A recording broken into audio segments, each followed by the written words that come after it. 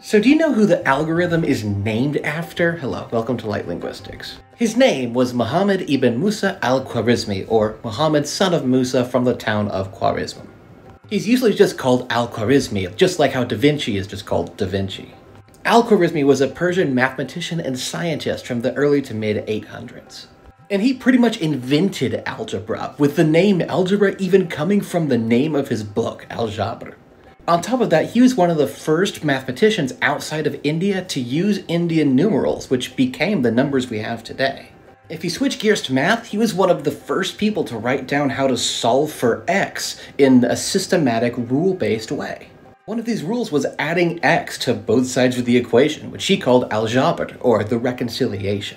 And about 400 years later, his writing made it to Europe, where it was translated and published and spread about, revolutionizing mathematics yet again.